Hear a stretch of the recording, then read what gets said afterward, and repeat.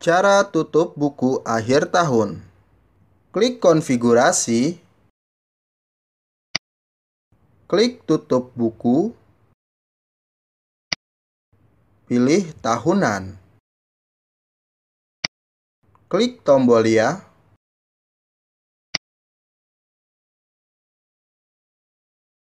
Silahkan klik OK.